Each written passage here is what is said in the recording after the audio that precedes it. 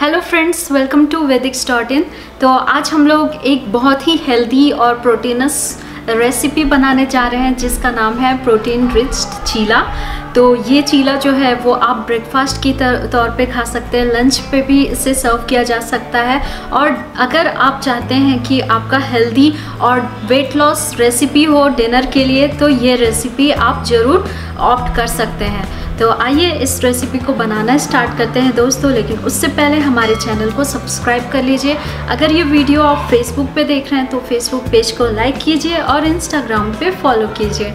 तो आइए video start करते हैं। थैंक यू दोस्तों। तो आज हम लोग बना रहे हैं एक बहुत ही सिंपल सा ब्रेकफास्ट लंच और डिनर रेसिपी वो है चीला। और ये प्रोटीन रिच चीला है क्योंकि इसमें बहुत सारे इंग्रेडिएंट है।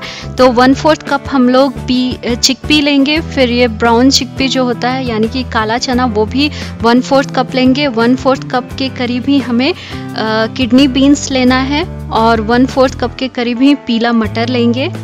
और साथ ही में वन फोर्थ कप के करीब ही हमें पीनट लेना है। सब मैं वन फोर्थ कप के करीब ही ले रही हूँ। आप चाहें तो घटा या बढ़ा सकते हैं। फिर वन फोर्थ कप के करीब हम लोग यहाँ पे सोया जो लोबिया होता है वो लेंगे और मोट जो होता है वो भी मूंग दाल की तरह होता है। जैसा मूंग होता है सेम वैसा ही मोट होता है, बस कलर में थोड़ा सा डिफरेंस रहता है। तो उसे लेंगे, पहले अच्छे से वॉश कर लेंगे, उसके बाद से उसमें हमने पानी डाल के ओवरनाइट सोक कर लेना है।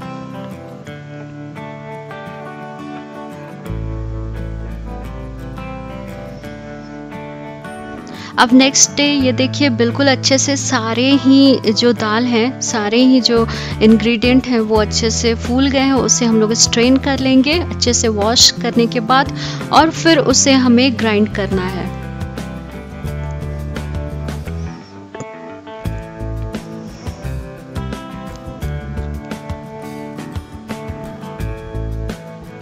अब ये पेस्ट बिल्कुल स्मूथ सा पेस्ट तैयार हो चुका है और इसमें जो भी आपको मसाले डालने हैं, जो भी इंग्रेडिएंट डालना है, वो आप अपने अकॉर्डिंग डाल सकते हैं। मैं आधी छोटी चम्मच यहाँ पे हल्दी डाल रही हूँ। साथ में नमक जो है, वो स्वाद अनुसार आप डालें यहाँ पे। और उसके बाद धनिया का पाउडर भी हाफ़ टी स्पून ही डाल रही हूँ मैं।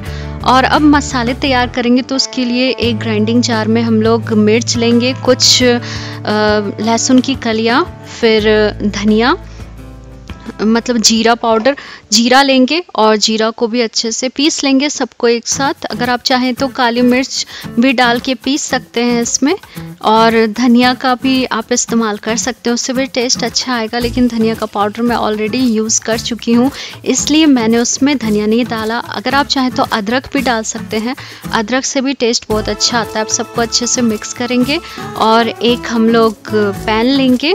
मतलब एक ग्रेडल लेंगे और उस पर हम लोग घी से ग्रीस करेंगे और उसके बाद से हमें ये बनाना पैनकेक की तरह बनाना स्टार्ट करना है हमें। तो आप बस इसे डालिए, अपने आप से ये फैल जाएगा। आप चाहें तो डोसे की तरह भी इसे स्प्रेड कर सकते हैं, लेकिन ये बिल्कुल सा सॉफ्ट सा बन के आता है। अगर आप चाहें तो इसमें कोई भी आ, जैसे बेकिंग पाउडर डाल सकते हैं या फिर आप इनो डाल सकते हैं फ्लफीनेस बढ़ाने के लिए लेकिन मैं आज इसमें कुछ भी नहीं डाल रही हूँ और ये फिर भी बहुत अच्छा बना है। तो आ, वो आप पे डिपेंड करता है। अगर आप थोड़ा सा फ्लफ़ी खाना चाहें तो उसमें आप डाल सकते हैं इनो। और अब देखिए उस पर थोड़ा सा घी ग्रीस करके फिर हम लोग पलट के भी सेक लेंगे।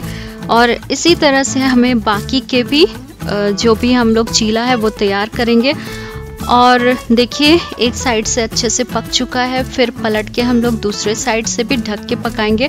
ढक के पकाने से जो रेसिपी होती है, वो जल्दी से कुक हो जाती है, जैसे कि चीला आप बना रहे हैं। अगर आप बिना ढके पकाएँगे तो वो थोड़ा सा लंबा टाइम लेता है, लेकिन ढक के पकाइए तो वो बिल्कुल 10 मिनट के 5 मिनट के अंदर ही बन जाता है।